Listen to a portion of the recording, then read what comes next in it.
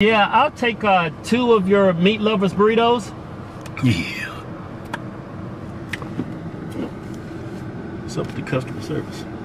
You at the wrong window, fool. Damn. Why don't you tell me?